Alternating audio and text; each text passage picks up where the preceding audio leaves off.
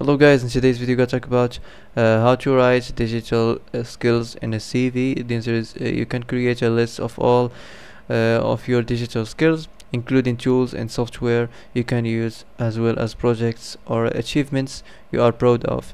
So that's for today. I hope this is the answer you've been looking for and see you in the next video.